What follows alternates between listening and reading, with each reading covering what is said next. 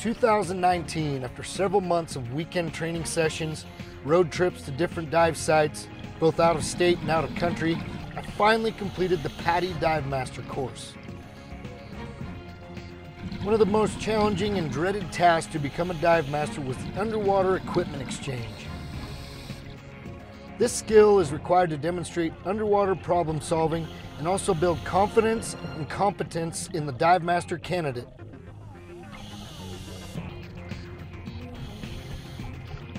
This challenging task also gives the instructor a chance to assess the trainee's ability to assist a distressed diver in an emergency.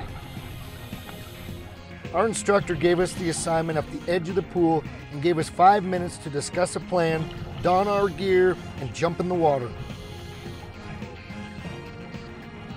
The instructions were descend to the bottom of the pool, swap all dive equipment, swim to the top of the ramp, turn around and return to the starting point, and ascend to the surface, all while sharing only one regulator. There was no time limit, just complete the task with all gear swapped.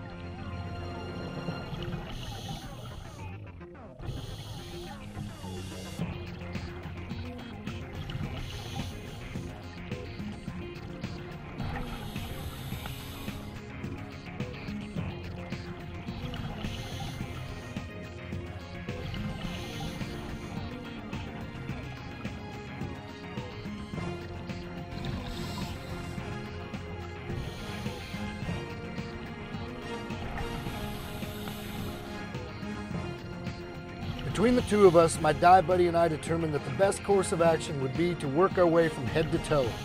We started by swapping masks, since this can be a little disorienting due to there being a brief moment of blurred visibility. After that, we would need to swap our scuba kits, BCDs and tanks, and lastly, we would exchange fins.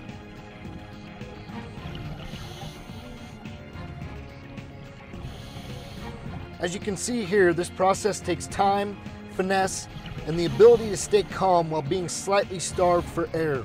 You also have to have patience with your dive buddy, so between the both of you, you can work through the problems as they come up.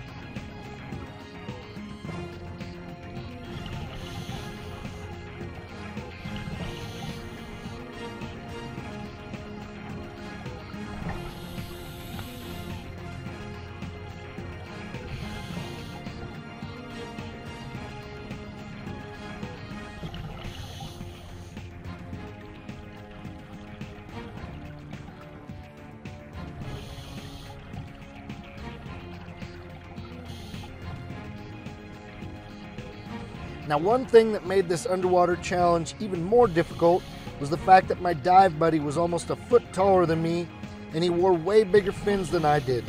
This made it extremely difficult to keep his fins on my feet.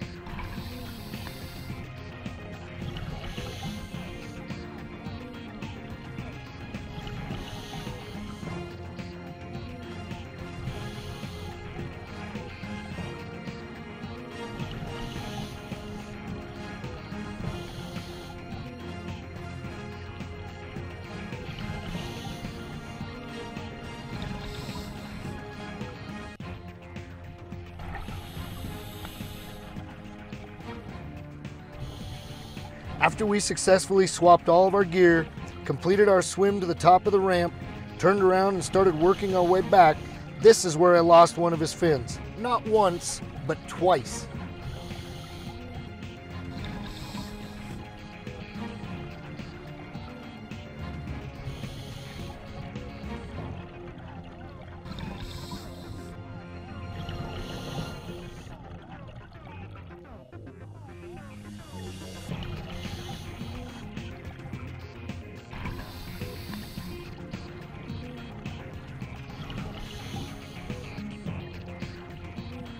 I was able to successfully retrieve the lost fins both times and we made it back to our starting point.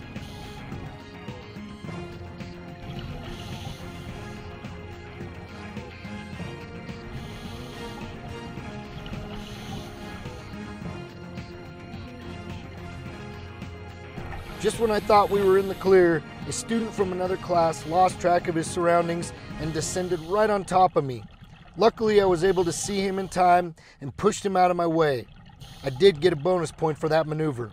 After watching this, I'm sure it will come as no surprise to most of you that it normally takes multiple attempts to complete this skill. For me, it took four tries, but luckily on this attempt, we completed the task and I'm glad someone captured most of it on film. Always put safety first and never give up. Keep diving, my friends.